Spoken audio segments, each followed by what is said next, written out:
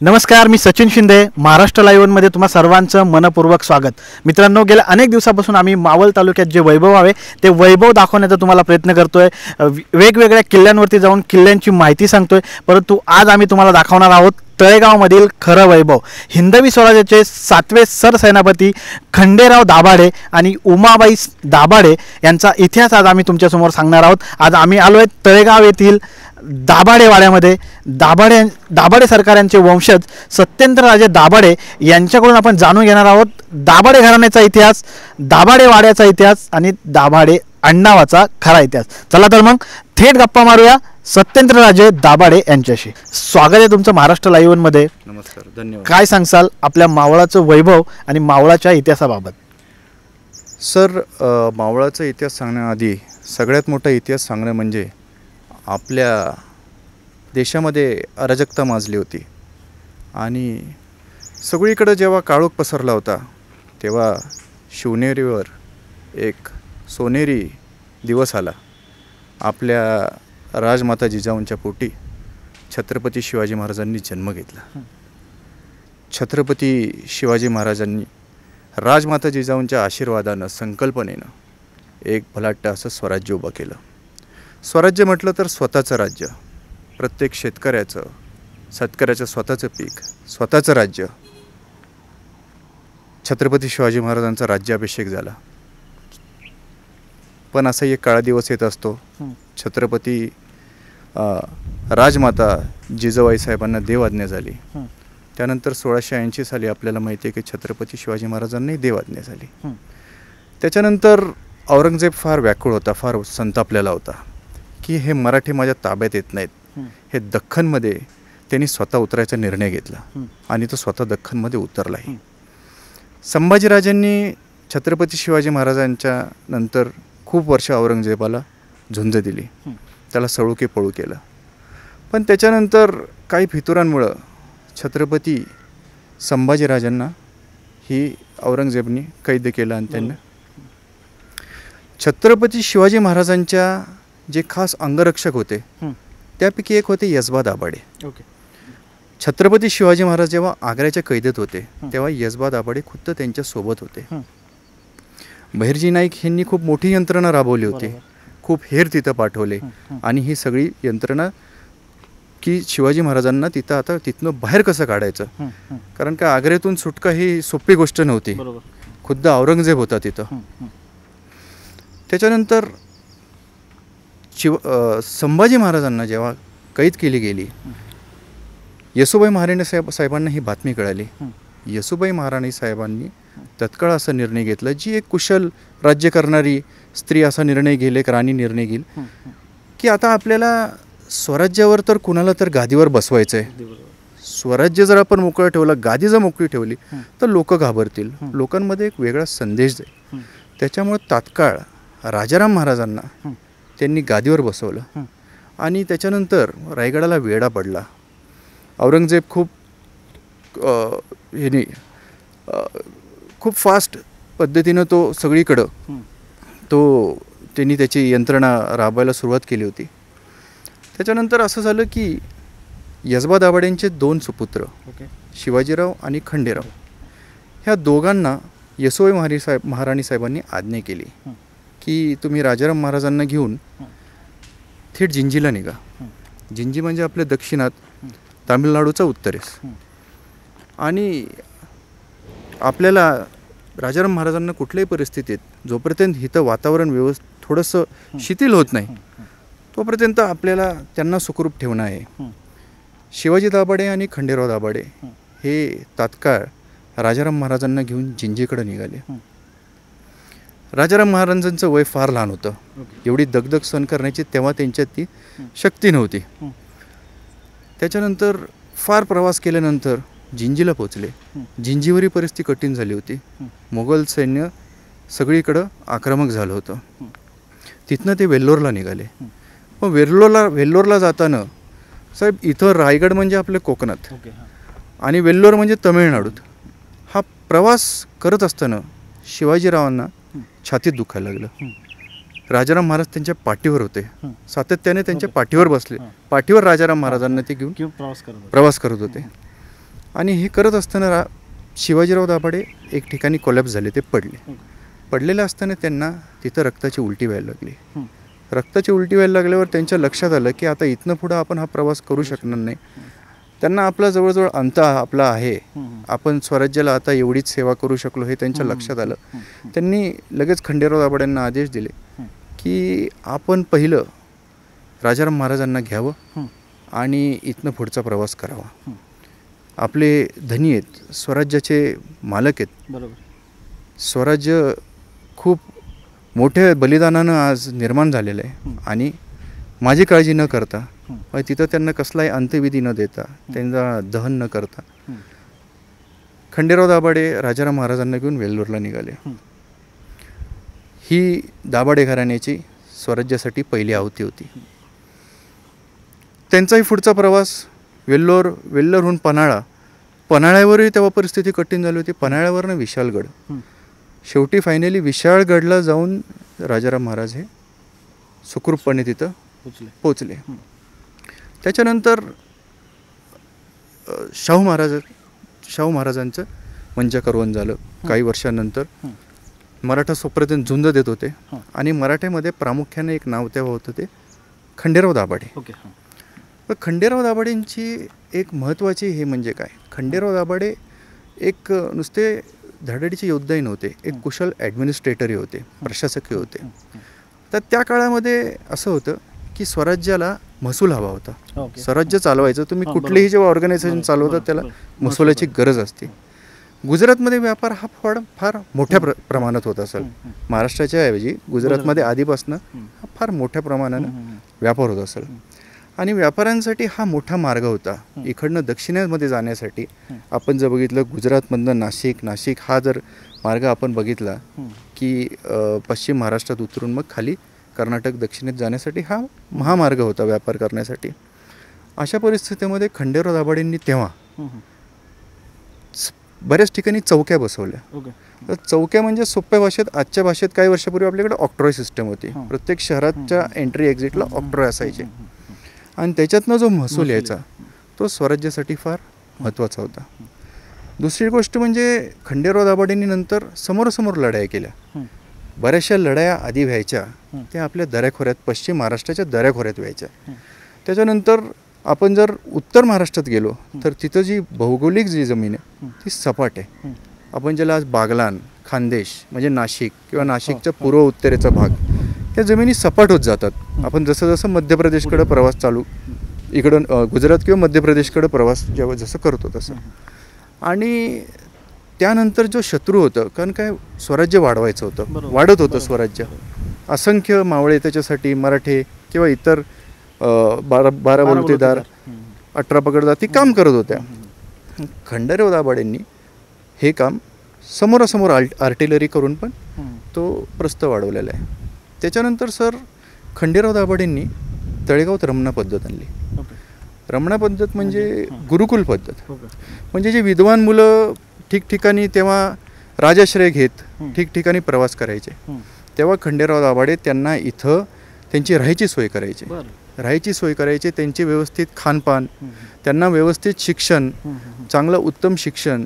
ते आत्मसात केईपर्यंत त्यांची सगळी सोय केली जायची. आणि ते इथून त्यांचं सगळं शिक्षण आत्मसात झाल्यानंतर. ते जातानी. त्यांना परत काही रक्कम दिली जायची त्यांच्या पुढच्या. प्रवासासाठी. म्हणजे त्यांनी जो ज्ञान हिथं प्राप्त केलेलं आहे. ते भविष्यामध्ये जाऊन त्यांनी पुढं समाजात. पसरावा बरोबर धार्मिक क्षेत्रामध्ये आपण बघितलं तर खंडेराव दाभाडे अतिशय धार्मिकही होते. रमणा पद्धतबद्दल मला एक गोष्ट सांगावी लागेल. फार अभिमान वाटेल आपल्या तळेगावचे एक सांगावं लागेल. की थोरले बाजीराव पेशव्यांनी हं. पद्धत इथं पाहिली. त्यांच्या काही लोकांनी विश्वस्तांनी ही पद्धत इथं पाहिली आणि त्यांना कल्प सांगितलं की अशी. अशी पद्धत. आपल्या पुण्याच्या जवळ तळेगाव दाभाडे इथं सरसेनापती खंडेराव दाभाडे हे. राबवत आहे. आणि ती रमणा पद्धत तीच रमणा पद्धत थोरले बाजीरावांनी पुण्यात राबवायला चालू केली. म्हणजे हे बोललं तर की चुकीचं ठरणार नाही की पुणं जर विद्येचं माहेरघर आहे तर आपली उ जर विद्येचं उगमस्थान म्हणजे ह्या पद्धतीचं उगमस्थान हां. आपल्या तळेगाव. तळेगावात झालं. अकरा जानेवारी सतराशे सतरा साली सरसेनापती खंडेराव दाभाडांना दाभाडेंना सरसेनापती सरसेनापतीपद. छत्रपती शाहू महाराजांनी बहाल केलं. धार्मिक क्षेत्रात जर आपण बघायला गेलो तर आज तळेगावमध्ये विविध प्रकारचे खंडेराव दाभाड्यांनी बांधलेले. किंवा जीर्णोद्धार केलेले. बरीचशी देवळं आहेत. आपलं ग्रामदेवत असो डोसनाथ महाराजांचं म्हणजेच कालभैरवाचं. त्याचं जीर्णोद्धार करणं बनेश्वरचं देऊळ आहे. आपण जर गणपतीचं देऊळ आहे हनुमानाचं देऊळ आहे श्रीरामांचं देऊळ आहे. सगळ्यात दुर्मिळ म्हणजे आपल्या तळेगावात पाच पांडवांचं देऊळ देऊळ आहे. जे फार. रेअर असतं दुर्मिळ असतं आपल्या देशामध्येच फार कमी पाच पांडवांचे देऊळ आहे. कारण काय जुन्या वेदांमध्ये असं लिहिलं गेलं आहे की पाच पांडवांना जेव्हा वनवास होता तेव्हा ह्या परिसरामध्ये त्यांनी वास्तव्य केलं होतं आणि धार्मिक ह्याच्यामध्येही तर त्या देवळांचं दिवाबत्ती कशी व्हायला पाहिजे सण कसा साजरा केला पाहिजे म्हणून प्रत्येक देवळाला त्यांनी काही जमिनी अलॉट केल्या होत्या हो. की त्या जमिनीतनं जे उत्पन्न निघेल. त्यांनी ते देवाची सगळी दिवा देवाची दिवाबत्ती तिथले काही सगळी प्राणप्रतिष्ठापना व्यवस्थितपणे. चालू राहील तर त्याच्यानंतर खंडेराव दाभाडे हे स्वराज्याचे सरसेनापती होते शिवाजी महाराजांचे जे विचार होते ते पुढे घेऊन चालणारे ते त्यांचे मावळे होते. म्हणून बारा बलुतेदारांवरही त्यांचं अत्यंत प्रेम होतं हं.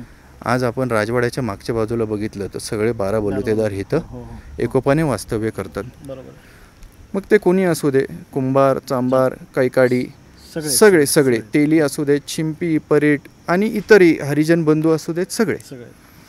आणि त्याच्याबरोबर भुई समाज जो होता हं. भुई समाज हा ह्यांच्याकडं संपूर्ण मासेमारी करायची. त्यांना अधिकार खंडेराव दाभाडेंनी त्यांना दिले होते. भुई समाजाला आजही जेव्हा जेव्हा आपल्या देवाची पालखी निघ निघती हं.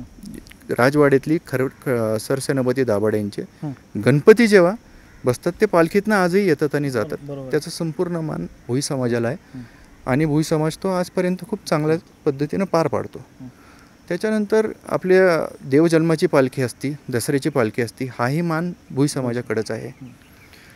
सर आता आपण उमाबाई साहेबांवरती. चर्चा करूया उमाबाई साहेब म्हणजे आबोने देशमुख आबोने तालुक्यातील ठोके देशमुख. म्हणजे नाशिक जिल्हा नाशिक प्रांतातील ह्या त्यांच्या कन्या. लहानपणापासूनच उमाबाई साहेबांना प्रत्येक प्रकारचे एक अस्त्र शस्त्र चालवणं. प्रशासकीय अभ्यास. ह्याचं चांगलं हे दिलं गेलं होतं त्याच्यानंतर त्यांचं लग्न खंडेराव दाभाड्यांची बरं. झालं त्यांना तीन अपत्य झाली पहिले म्हणजे त्र्यंबकराव. यशवंतराव आणि बाबूराव. अशी ते ती तीन मुलांची नावं उमाबाई साहेब एक फार धडाडीच्या योद्ध्या होत्या उमाबाई साहेबांनी खंडेरावांबरोबर त्यांच्यासोबत भरपूर मोहिमेवर गेल्या आता उमाबाई साहेबांचं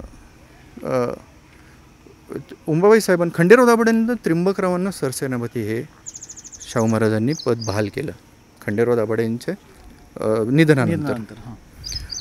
पण गुजरातमध्ये बाजीराव पेशवे आणि त्र्यंबकराव दाभाडे.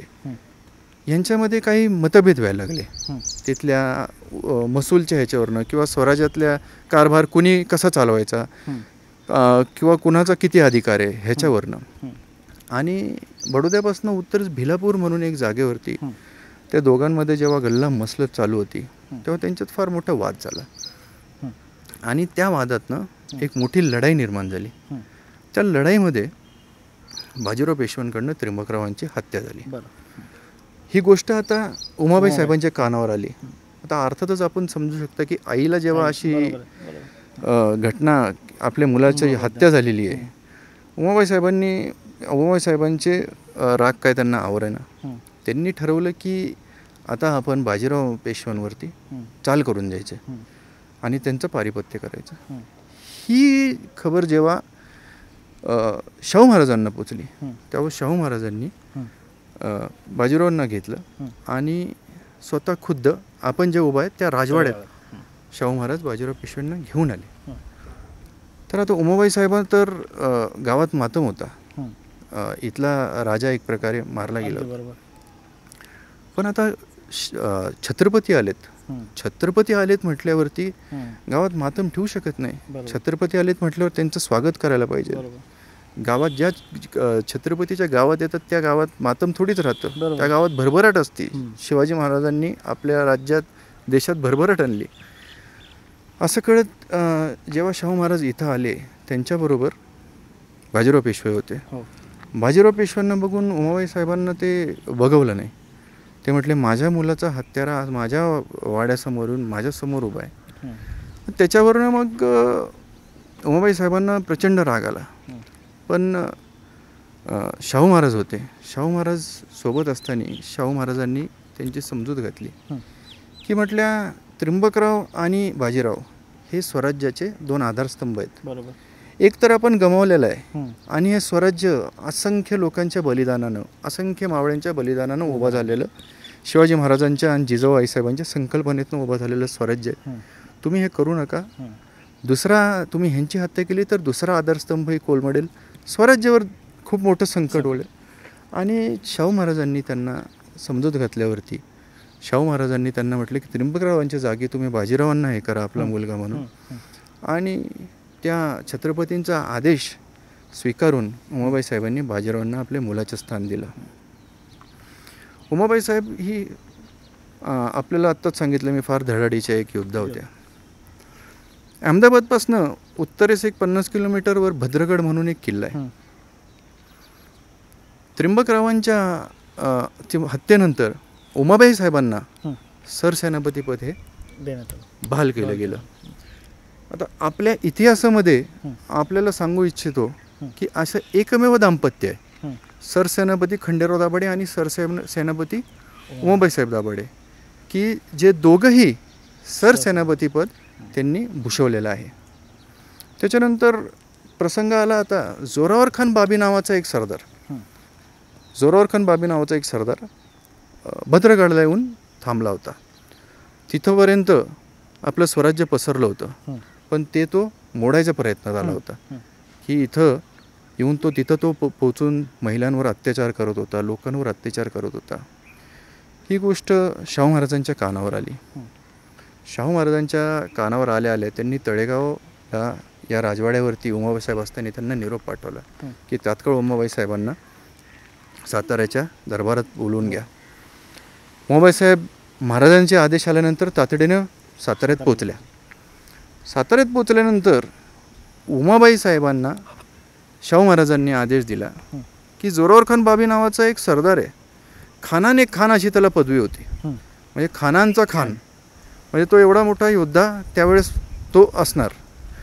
आणि तो तिथं आला आहे आणि खूप अराजकता माजवतोय आपल्या आई बहिणींवरती. खूप अन्याय करतोय. आणि दोन गोष्टींना छत्रपती शिवाजी महाराजांच्या स्वराज्यामध्ये अजिबात स्थान नाही. हं. एक म्हणजे बळीराजाच्या पिकाचं नुकसान करणं. हो. आणि दुसरं म्हणजे आपल्या आई बहिणींच्या आबरूला हात घालणं. रांजाच्या पाटलाचं उदाहरण आपल्या हं, सगळ्यांकडं बरोबर. सगळ्यांसमोर आहे. उमाबाई साहेब म्हटलं महाराज आपण आदेश करायचा. हं. मी त्याची जाईन जाऊन पारिपत्य करीन. महाराजांनी आदेश दिला. की तुम्ही पटकन थेट भद्रगडाला अहमदाबादच्या पुढं रवाना व्हा आणि त्याचं पारिपत्य करा शाहू महाराजांनी उमाबाई साहेबांनी विचारलं की तुम्हाला काय हवं अजून काही रक्कम काही. अं, फौजफाटा काही पाहिजे मदत हवी का माझ्याकडनं काय. उमाबाई साहेब म्हटलं मला काही नको जे दिलं ते आत्तापर्यंत छत्रपतींनी दिलं आहे स्वराज्याने दिलेलं आहे फक्त माझी एकच विनंती आहे. मी तिथं गेले. आणि माझं जर तिथं काही बरं नाही बरं वाईट झालं. मी तिथं धारातीर्थ पडले. तर ही माझी दोन लहान मुलं आहेत. यांना आपण आपल्या पायाशी ठेवा आपल्या छत्रछायेखाली. त्यांना ठेवा आणि त्यांचा सांभाळ करा. शाहू महाराजांनी त्यांची विनंती लगेच मान्य केली आणि थेट उमाबाई साहेब आपलं सैन्य घेऊन भद्रगडाकडे निघाल्या भद्रगडाकडे जात असताना भद्रगडाच्या जवळ पोचल्यानंतर जोरावर खान बाबीला कळलं की एक महिला तेही विधवा. आपलं पारिपत्य करायला येणार आहे त्याला विश्वास बसला नाही त्याला हसू फुटलं. की एक महिला माझं जोरावर खान बाबी खानाने खान. ज्याला म्हटलं जातं त्याचं पारिपत्य करायला एक महिला येणार तेही विधवा. आणि त्याच्यानंतर त्यांनी उमाबाई साहेबांना एक पत्र लिहिलं. त्यांनी उमाबाई साहेबांना पत्र लिहिलं. अरे तू एक स्त्री आहेस. तेही विधवा. म्हटले विधवा स्त्री माझं पारिपत्य करणार. ते म्हटले जा परत.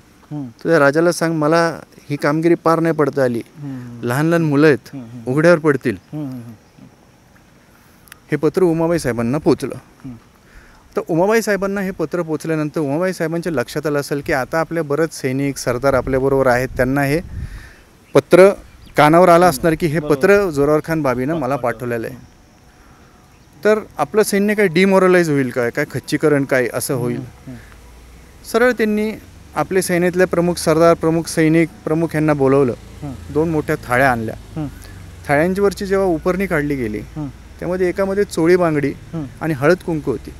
आणि एकामध्ये होत्या समशेरी. उमाबाई साहेबांनी सांगितलं मला जोरावर खान बाबीने हे असं पत्र पाठवलेलं आहे की तू एक विधवा स्त्री आहेस. स्त्री आहेस त्यात विधवा लहान मुलं आहेत. तू माझं काय पारिपत्य करणार? तुला जर तू परत जा. उमाबाई साहेब म्हटल्या त्यांच्या सैन्याला म्हटल्या की जर तुम्हाला असं वाटत असेल की मी त्याच्याशी लढू शकत नाही तर तुम्ही ह्या चोळी बांगडी उचला आणि तुम्ही तुमच्या घराला बरोबर. परत जावा. आणि जर असं वाटतं की आपण जाऊन जोरावर खान बाबीचं पारिपत्य करावं तर या समशेरी उचवा उचला. साहजिक आहे मराठा सैनिक होतं. बरोबर. प्रत्येकाने शे शमशेर उचलली. जय भवानी हर हर महादेवाचा नारा घेतला आणि ठरलं की आता जोरावर खान बाबीचं जाऊन पारिपत्य हे करायचं. वेळ आली लढाई सुरू झाली. उमाबाई साहेब भद्रगडावर चाल करून गेल्या. तिकडनं ही बरंच रेजिस्टन्स बरीच फौज होती. घमासान लढाई सुरू झाली. लढाई सुरू होत असताना इकडचेही आपले बरेच सैनिक दगावले गेले. तिकडचे बरेच सैनिकचा व सैनिकांचा वध झाला. पण हळूहळू मराठ्यांची पकड लढाईवर मोठी होत गेली. उमाबाई साहेबांचे उमाबाई साहेब त्या लढाईमध्ये हत्तीवर बसून धनुष्यबाणाचा प्रयोग करत होत्या. आणि एखादी वीज ढगांना कापत जाईल तसं उमाबाई साहेब त्या भद्रकिल्ल्या किल्ल्याच्या मुख्यद्वाराजवळ पोचल्या. आणि किल्ला मोठा होता. त्याच्यात आतमध्ये शिरणं कठीण होतं. मग आता यंत्रणा राबवायची कशी? तर त्यांची जी सैनिकांची थडगी पडली होती ध- धड पडली होती. हां तेच उचलायचे ते रचायचे. हां. दरवाजासमोर रचले त्यांना आग लावली म्हणजे तो दरवाजा जळून तुटे तुटेल. आणि जे तटावाले तटावर जे रचले तटाच्या आली अ, पायथ्याला त्याच्यावरनं मराठा स- सैनिक चढून वरती गेलं. वरती गेले. वरती गेल्यानंतर खाली अ, खान बाबीला अ, समजून आलं की आता आपलं पारिपत्य हे निश्चित आहे. किल्ला फुटलेला आहे. किल्ला फुटला तिथं अर्धे लढाई जिंकल्यासारखी असते. उमाबाई साहेब त्या मुडद्यांवरनं चढून आतमधल्या बाजूस गेल्या जिथं जोरावर खान बाबी उभा होता आणि त्याच्या गळ्याला थेट शमशेर लावली. शमशेर लावल्यानंतर तो चपापला. त्याला कळलं की एका ज्या बाईला आपण एवढं कमजोर समजत होतो तिनं आज आपलं पारिपत्य केलेलं आहे. त्याला बेडा ठोकून थेट त्यांनी साताऱ्याच्या दरबारात शाहू महाराजांसमोर त्याला घसरत उपस्थित केलं. तेव्हा शाहू महाराजांनी उमाबाई साहेबांना चोळी बांगडी पांढरी शॉल उपरणं पायात सोनं घालायचा. मान. सोळाशे पंच्याण्णव गावाची इनामी. आणि एक सांगावं असं वाटतं की शाहीर हिंग्यांचं ह्याच्यावरती एक हे पवाड आहे. ओके. शाहीर हिंग हिंग अ, हिंग्यांचा उमाबाई साहेबांवरती एक सतरा अठरा मिनिटाचा पवाड आहे. जर आपल्या दर्शकांना जर कुठं तो बघायला मिळाला यूट्यूबवर तर कुठंतरी सापडेल. तर तो नक्की आहे का? अंगावर शहारे येण्यासारखा शाहीर हिंगेंनी तो पवाडा गायलेला आहे या संपूर्ण प्रसंगावरती. आणि उमाबाई साहेबांची तिथं फार मोठी कार्यकिर्दी उमाबाई साहेबांनी पार पडली होती. ही स हा सर्व इतिहास आहे सरसेनापती खंडेराव दाभाडे यांचा. सरसेनापती उमाबाई. साहेबांचा. काही गोष्टी तळेगावातल्या राहिल्या. तळेगावामध्ये आपले असेही घरं आहेत की गुरव राहिले. गुरव ज्यांना ग्रामदेवताचं सगळं प्राणप्रतिष्ठा करण्याचा मान होता. आपले काही ग्रामपुरोहित राहिले राजपुरोहित रेडे. बरेचसे फॅमिलीज अशा आहेत की ज्या सतराव्या शतकात आल्या आणि खंडेराव दाभाडे त्यांना राजश्रय दिलेला आहे. त्यातली एक मेडी फॅमिली आहे आणि असे बरेच फॅमिलीज आहेत. बरेच कुटुंब आहेत की त्या त्या काळात आलेले असताना. कारण का तेव्हा बाहेरच्या काळात आपल्याला माहिती आहे मुघल सैनिक हे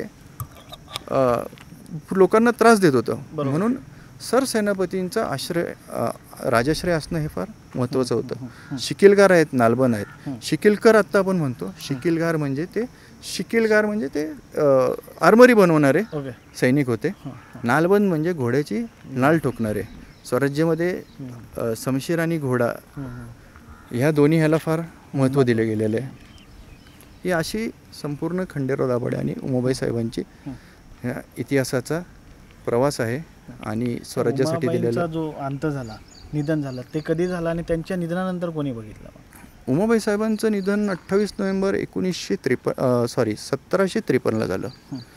आणि त्याच्यानंतर त्यांचे पुत्र यशवंतराव यांनी सगळी कार्यरत सांभाळली. आणि त्याच्यानंतर असं झालं की पानिपतचं लढाई जवळ जवळ आली होती. मोहम्मद शाह अब्दाली एकदा लढाई करून गेला होता. फार नुकसान करून गेला होता त्याचंही फार नुकसान झालं. दुसरी पानिपतचं युद्ध झालं. हो बरोबर. आणि त्याच्यामध्ये असं झालं की मोहम्मद शाह अब्दाली जिंकून हारल्यासारखं आहे. आणि मराठे हारून जिंकल्यासारखे आहेत. कारण का तो परत जो तिकडं अफगाणिस्तानला गेला त्यांनी परत इकडे बघायची हिंमत केली नाही. अर्थातच सदा आपले सदाशिवराव पेशव्यांच्या मार्गदर्शनाखाली ती लढाई पार पडली. त्याच्यातही दाभाडेंचा खूप फार मोठा सहभाग होता. त्याचं कारण असं आहे की आज पानिपतला जर तुम्ही गेला तर तिथं खूप प्रमाणात दाभाडे आहेत. ते ह्या काळात तिथं जाऊन प्रस्थापित झालेले आहेत लढाईच्या वेळेस. आणि त्यांना तिथं आज तिथल्या उच्चारामुळं दाबडा हे हे केलं जातं. हं, हं, ते मूळ दाभाडे आहेत. हं. आणि दाभाडे खूप ठिकाणी आहेत. नुसते तळेगावात नाहीत. तर आपल्याला माहिती आहे तळेगावपासून अगदी माळवाडी कोटेश्वरवाडी हे आपल्या तालुक्यामध्ये ओझर बौर इथं दाभाडे आहेत. हं. अजून जर दाभाडे आपण म्हणायला बघायला गेलो तर आत्ता मी सांगितलं तुम्हाला हरियाणामध्ये आहेत पानिपत जवळ. हं. अहमदाबादमध्ये आहेत. हं. मुळशीमध्ये एक गाव आहे दख्खन म्हणून. हं. दखणं म्हणून. तिथं आहेत हो. दखने हो. बावधनमध्ये आहेत आपल्या वाई जिल्हा वाई तालुक्यात साताऱ्यामध्ये औरंगाबादच्या इथं आहेत हं. आणि असे बरेच दाभाडे वेगवेगळ्या ठिकाणी हं. पसरलेले आहेत आणि सरसेनापती दाभाडे मूळ घराणं हे हे आणि त्यांचे काही जे बाकीचे जे फॅमिलीज होत्या वंश ते हे असे हे दाभाडे इकडं आपण पसरले आपण ज्या ठिकाणी आता उभे आहोत हा जो दाभाडे अ, हा जो राजवाडा आहे ह्याची मूळ रचना कशी होती? आता ह्याचं पूर्णपणे ढासळला आहे. पण आपल्या प्रेक्षकांना सांगता येईल का याची मूळ रचना कशी होती? सर ह्याची मूळ रचना तीन मजली होती. हं. आणि खंडेराव दाभाडेंच्या बद्दल एक वैशिष्ट्य सांगायचं मी विसरलो. हं. म्हणजे खंडेराव दाभाडेंनी ठिकठिकाणी खूप राजवाडे बांधले. हं. म्हणजे नुसतं तळेगावत नाही. हं. तर आज तुम्ही इंदोरीचा जर गडी जाऊन पाहिले हो. तर अति उत्कृष्ट नमुना आहे तो आर्किटेक्चरचा. हं, हं, हं, आपण बघा इंद्रायणी काठीची जी इंदोरीची गडी आहे हं, हं. त्याच्यानंतर खंडेराव दाभाडेंनी चांदखेडमध्ये राजवाडा बांधला. ओके नव आपल्या नवला कुंभ्र नवला कुंभ्रेमध्ये राजवाडा बांधला. गुजरातमध्येही त्यांनी एक मोठा गड बांधला सोनगड म्हणून. आणि अशा खूप ठिकाणी खंडेराव दाभाडेंनी हं. राजवाडे बांधलेले आहेत आणि ह्या इंदु इंदोरीचे आर्किट आर्किटेक्चरल स्ट्रक्चर बघून बाजीराव पेशव्यांना ते एवढं आवडलं. की याच पार्श्वभूमीवरती किंवा याच पद्धतीनं आपण शनिवारवाडा बांधायचा असं त्यांनी ते ठरवलं होतं. म्हणून बरेचसे इतिहासकार म्हणतात की इंदोरीच्या गडीच्या ह्याच्यावरतीच शनिवारवाड्याची. शनिवारवाड्याची एक निर्मिती झाली. आणि दोन्हीही जर बघितले आपल्याला ह्या राजवाड्यापेक्षा इंदोरीची गडी ही फार भव्य आहे. फार भव्य आहे. आपण जर कधी बघितलं आणि तसंच शनिवारवाडा ही बाजीराव पेशव्यांनी त्या ह्याच्यावर बांधला. ह्याची रचना कशी होती? याचा किती मजले होते किंवा कसा होता? सर हा राजवाडा तीन मजली होता. साधारणपणे इतिहासकार सांगतात की इथं आपण म्हणतो कुस्ती खेळायसाठी जागा असते. त्या बाजूला एक विहीर होती. इकडं रांजण होते. रांजण आपल्याला आजही दिसतील. पण इथं भिंतीवरती फार चांगले सुंदर अप्रतिम पेंटिंग्ज होते. पण ते काला ह्याच्यानं हो, कालांतरानं ते पाऊस ह्याच्यामुळं ते सगळे फेड झालेले आहेत. आता आत्तापर्यंत आपण सगळा इतिहास बघितला उमाबाई दाभाडेंचा असतील किंवा खंडेराव दाभाडेंचा इतिहास बघितला परंतु आत्ता वर्तमान काळामध्ये त्यांचे वंशज काय करतात आहे? त्यांच्या वंशजांचं सध्या काय चाललं आहे सर थोडंसं मी मागं जाईन. अठराशे अठरा साली आपल्याला माहिती आहे की रायगड इंग्रजांच्या ताब्यात आल्यानंतर. राय इंग्रजांचं संपूर्ण शासन आपल्या देशावर बसले गेलं. एक प्रकारची गुलामी आपल्यावर थोपटी गेली आणि त्या प्रकारे तेव्हासुद्धा. म्हणजे अठराशे चौऱ्याऐंशी साली तळेगाव दाभाडे नगर परिषदेची स्थापना हे दुसरे खंडेराव दाभाडे यांनी केली. म्हणजे त्या काळात इंग्रजांकडनं असेल ती परवानगी आणणं आणि त्याचं सगळं हे करणं. पण खंडेराव दाभाडेंनी मूळ म्हणजे पहिले खंडेराव त्यांनी आपल्या तळेगाव शहरामध्ये दोन तलावं बसवले. बांधली गेली होती. तलावं ही मॅनमेड आहेत. म्हणजे मानवी ह्यांनी पद्धतीने बनवली गेलेली आहेत. त्याच्यामध्ये अशी प्रणाली केली गेली होती की त्या दोन्ही तलावांना त्यांच्या एक एक तटावरती वॉल्व आहेत. आजही जर वॉल तो आपल्याला नक्की निश्चितपणे दिसणार. आणि तो वॉल सोडल्यानंतर खाली तीनशे ते चारशे एकर शेतीला पाणी जाईल. आणि एक घटना अशी सांगतो की एक व्यापारी इथनं जात असताना. तो सोन्याच्या सोया विकत होता. आता सोन्याच्या सोया विकायची पद्धत म्हणजे तेव्हाचे जे राजे महाराजे मोठे मोठे सरदार होते. ते सोन्याच्या सोयाने स्वतःचे वस्त्र शिवायचे पण त्याला खंडेराव दाभाडेंनी बोलवलं आणि ते म्हटले तू जे सोन्याच्या सोया विकतोयस ते तू त्याचं हे कर ते म्हटले अर्थातच तुम्ही इथले संस्थानिक इथले सरकारत तुम्ही सोन्याच्या सोया त्यांना दिल्या त्याला काय असेल तो मोबदला दिला. आणि त्या सोन्याच्या सोया त्यांनी स्वतःचे वस्त्र न शिवता. त्या दोन्ही तळ्यांमध्ये त्या सोन्याच्या सोयांचं विसर्जन केलं बरं त्याचं कारण असं. की ह्या सोन्याचं ह्या पाण्यात जे सोनं आहे. ते माझ्या पिकांपर्यंत जाईल. बरं. आणि माझ्या पंचकोशीमध्ये जे. पीक पिकल ते सोन्यासारखं पिकल माझे जे लोक आहेत हं, सोन्यासारखं पीक पिकवतील. अर्थातच ही संकल्पना आपण घेतली तर राजमाता जिजाऊ साहेबांनी ह्याची सुरुवात केली. जिथं काही पिकायची आशा नव्हती जिथं पोत खराब जमीन होती. तिथं सोन्याचा नांगर राजमाता जिजाऊंनी तो नांगरला आणि ती जमीन हे केली. अशी ती संकल्पना की सोन्याचं पाणी जाईल आणि सोन्यासारखं पीक येईल हं. आणि माझी प्रजा माझा रयत आनंदमय इथं वास्तव्य करेल. तर अठराशे चौऱ्याऐंशी साली दुसरे खंडेराव दाभाडेंनी तळेगाव दाभाडे नगर परिषदेची. स्थापना केली. तळेगाव दाभाडेची नगर परिषद स्थापना करत असताना त्यांनी त्या काळातली एक दूरदृष्टी म्हणून हं. ही दोन्ही तळी ही गावास दिली. बरोबर. आपल्याला इगल फ्लासच्या मागचं तळं माहिती असेल हो. की ज्याचं आपल्याकडं जवळजवळ एकोणीसशे अठ्ठ्याहत्तर सालापर्यंत आपण आपल्या गाव तिथलं पाणी पित होतं. आता त्याचं उत्खनन झालं ते. हो राईट तेच. आणि सेवन्टी नाईन किंवा एटीमध्ये आपल्याकडे पवना जलवाहिनी आली. तेव्हापासून आपल्याला पवना नदीचं. पाणीचं पाणी. पुरवठा होत. असतो. अनेक शाळांना त्यांनी जमिनी देऊन ठेवल्या किंवा आरक्षित केल्या. की भविष्यात शिक्षण हे फार महत्त्वाचं आहे. हे त्यांनाही माहिती होतं. तेही तेव्हा शिकलेले होते. आणि बऱ्याचशा जमिनी शाळांसाठी त्यांनी जमिनी आरक्षित करून ठेवल्या. तेव्हा कोंडवाडा असं एक पद्धत होती. की कुठलंही जनावर जर हे झालं. तेव्हा लोकांकडं जास्तीचं उत्पन्नाचं साधन होतं ते शेती आणि जनावरं म्हणजे गोठे दूध. दुग्ध व्यवसाय आपण असं म्हणतो. की त्याला जर ठेवण्यासाठी जागा नसेल तर त्या कोंडवाड्यात त्या कोंडवाड्यात त्यांनी आणायचं तशी अ, त्यांनी ती प्रणाली तशी करून ठेवली होती हं, हं, हं. त्याच्यानंतर त्यांचे सुपुत्र यशवंतराव खंडेराव दाभाडे हं. हेही नगराध्यक्ष झाले हं. आणि त्याच्यानंतर आपल्या देशाला स्वातंत्र्य मिळालं हं. एकोणीसशे चोपन्न साली सार्वत्रिक विधानसभा निवडणूक आपल्या देशात घेतल्या गेल्या हं, हं. त्याच्यामध्ये त्यांचे सुपुत्र म्हणजे दुसरे खंडेराव दाभाडे यांचे नातू सरसेनापती वीर धवलराजे यशवंतराव दाभाडे हे आपल्या मावळ आणि मुळशी तालुका जेव्हा एक होता हो, हो. एक. मतदारसंघ होता हो. ते तेव्हा ते प्रथम आमदार. म्हणून निवडून आले. भरघोस मतांनी म्हणजे निवडून आले. स्वतंत्र आपल्या मावळ तालुक्याचे पहिले आमदार जे आहेत ते दाभाडे घराण्याचे यश यश. सरदार दाभाडे घराण्याचे ते वीर धवल यशवंतराव दाभाडे हे चोपन्न साली हो. ते निवडून आले होते. पण दुर्दैवानं साठ सालीच ते आजारी पडून त्यांचं त्यांना देवाज्ञा झाल्यामुळं.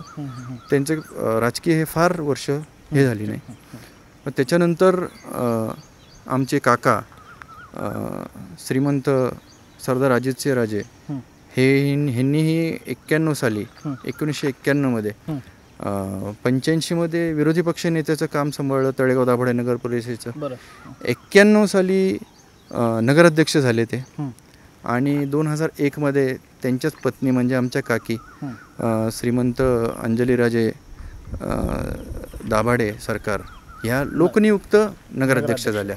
म्हणजे ती पहिली अशा नगराध्यक्ष त्या पहिल्या अशा नगराध्यक्ष होत्या ज्यांना लोकांनी निवडून दिलं होतं. आणि मलाही लोकांनी खूप प्रेम खूप संधी दिली. मीही तळेगाव दाभाडे नगर परिषदेवर काम केलं उपनगर उपनगराध्यक्ष म्हणून. मीही तिथं कार्यरत होतो.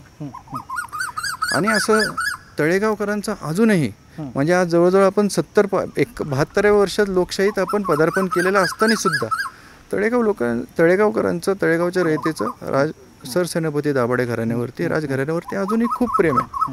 अजूनही खूप आदरानं आणि निश्चितपणे हे जे असणार आहे ते सरसेनापती खंडेराव दाभाडे आणि सरसेनापती उमाबाई साहेब दाभाडेंची ती पुण्याई असणार आहे. लोकांवर त्यांनी केलेलं हे प्रेम असणार आहे जे पिढ्यानपिढ्या आजपर्यंत चालत आलेलं आहे. पण आता असा आता असा कुठं वाटतं का? एवढा मोठा इतिहास आहे आपल्या घराचा एवढी मोठी परंपरा आहे. पण ही जी काही इमारत आहे ती प्रशासनामध्ये कुठेतरी ढासळत गेली आहे त्याची डागडुजी होत नाही आहे याच्याकडे दुर्लक्ष केलं जातं ह्याची कुठे खंत वाटते का? सर प्रचंडपणे वाटते. खंत कुणाला नाही वाटत. खूप लोक म्हणतात की राजवाड्यात काहीतरी व्हायला पाहिजे. आणि जवळजवळ राजवाड्यावरती तीस ते पस्तीस वर्ष आज तळेगाव दाभाडे नगर परिषदेचं ऐतिहासिक स्मारक म्हणून इथं त्याचं आरक्षण आहे. तीस ते पस्तीस वर्षात आपलं गाव एवढं बदललं. पण आपण इथं दुर्दैवानं एक शिवसृष्टी किंवा सरसेनापती खंडेराव दाभाडे आणि सरसेनापती उमाबासाहेब दाभाडे यांचे काही असे एक त्यांच्या त्यांना आदरांजली म्हणून एक काही स्मारक. स्मारक इथं अजूनही करू शकलो नाही ह्याची खंत वाटते.